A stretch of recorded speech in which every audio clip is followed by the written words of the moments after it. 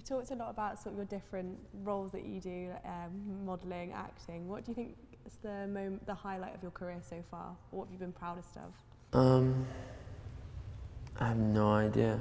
um, I, I mean, it's those, those moments, you know, I, I think Breaking Bad was, was something very, that, that I can be very proud of, and I'm very happy that, that it lasted as long as it did, and that it has the impact that it has.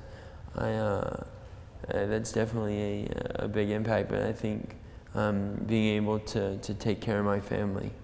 I, um, I've been able to take care of my family for the last 11 years now, and, and, I'm lucky to have that. I'm lucky that I can provide for them, and, and they're, they're not doing half bad, so they can't, they can't complain. So.